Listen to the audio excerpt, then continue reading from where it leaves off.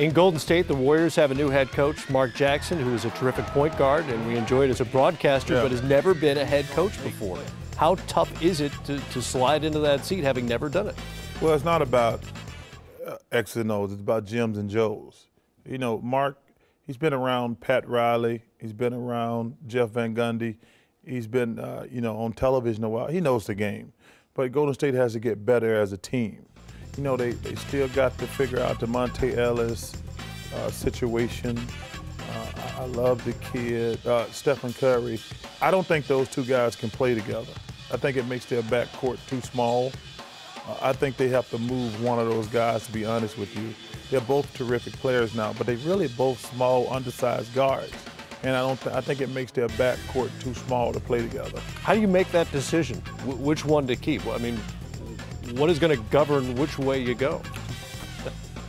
I, think you have to ask yourself, can Curry play the one? Uh, I, I, I do. I think you have to ask yourself, can he play the one? That's going to me going to be the key.